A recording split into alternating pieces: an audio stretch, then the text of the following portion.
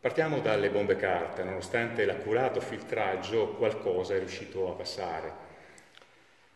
Sì, diciamo che è un neo in un servizio che oserei dire quasi perfetto, insomma, eh, però obiettivamente eh, dobbiamo migliorare su questo fronte.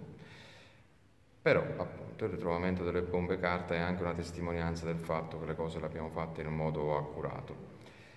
Eh,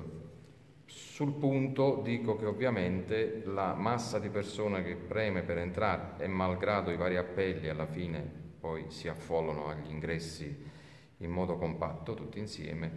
crea qualche difficoltà eh, che dobbiamo superare. Dico che, non lo dico io, ma lo dicono tutti quelli che stanno da qui eh, da molto prima di me che eh, un servizio di filtraggio così non si era mai fatto, nel senso che è stato fatto veramente con grande scrupolo,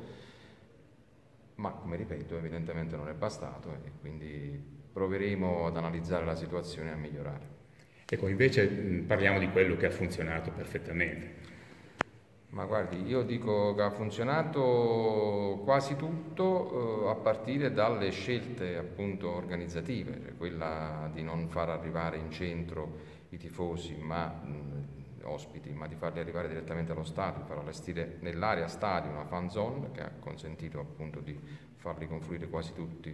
su quel punto, quella di non far arrivare alla, quella, la scelta di non far arrivare alla stazione un gruppo di tifosi del Dortmund segnalati come pericolosi, eh, ma di andarli a prendere a Parma, dove stavano viaggiando in pullman, e di scortarli fino a Reggio, quella di far eh, tenere, di tenere, i tifosi del, del Borussia all'interno dell'impianto per più di mezz'ora dopo la fine della partita per consentire appunto il deflusso dei tifosi atalantini. Queste sono le cose principali che ci hanno consentito di gestire bene l'evento, naturalmente insieme a un'attività informativa che era partita da tempo anche in collaborazione con la polizia tedesca e che allo stesso modo ha funzionato. Ecco, tre eh, della Digos sono rimasti feriti, ma questo eh, durante un'operazione che ha consentito di tenere separate le tifoserie opposte. Beh sì, sicuramente, ecco, prima ancora della, della, criticità di cui ho parlato prima c'è stata questa, insomma, una cosa che